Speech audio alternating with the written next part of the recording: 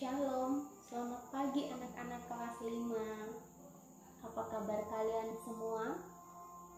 Miss berharap kalian bersama dengan keluarga dalam keadaan yang baik dalam perlindungan Tuhan.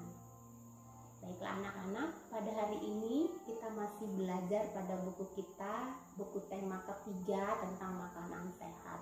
Dan pada minggu sebelumnya kita sudah belajar tentang keberagaman anak-anak kita patut bersyukur uh, memiliki bangsa yang memiliki banyak sekali keberagaman.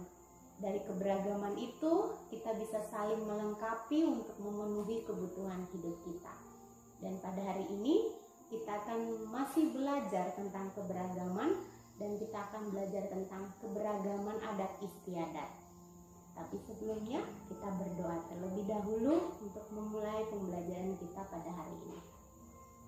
Mari anak-anak lipat tangan tutup matanya, Miss Murni akan pimpin kita di dalam doa. Bapak yang baik kami bersyukur untuk hari ini.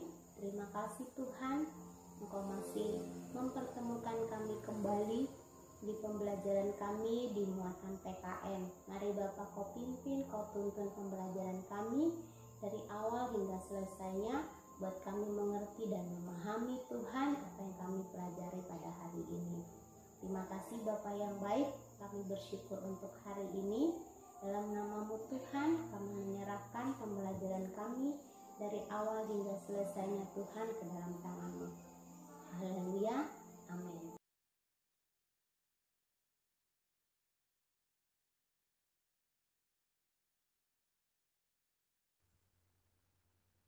Keragaman adat istiadat Adat istiadat adalah perilaku masyarakat yang menjadi ciri khas suatu daerah tertentu. Adat istiadat diterapkan secara turun-temurun sehingga menjadi suatu kebiasaan dalam kehidupan masyarakatnya.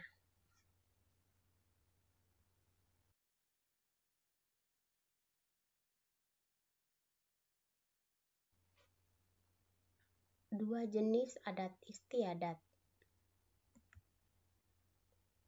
Satu adat istiadat tertulis yang berisi peraturan atau dokumen.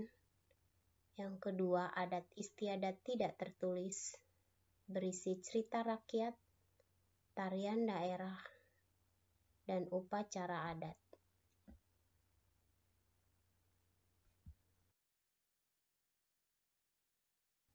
Berikut ini beberapa contoh adat istiadat.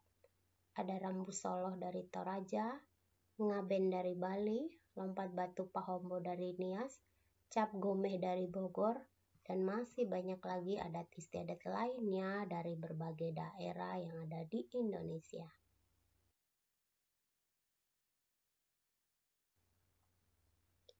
Rambu Solo dari Toraja merupakan upacara mengantarkan sanak keluarga yang telah meninggal dunia ke alam baka.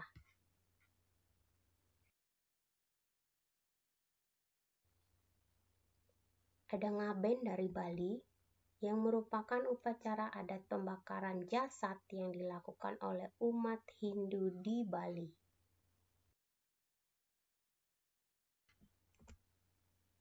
Lompat batu Pahombo dari Nias yang merupakan ritual pendewasaan suku Nias. Jika berhasil melompati batu tersebut, pemuda tersebut menunjukkan kedewasaannya.